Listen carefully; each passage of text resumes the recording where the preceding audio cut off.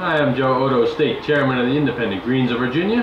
And I'm Gail Parker, Vice Chair of Independent Greens of Virginia. We need more trains. And less traffic.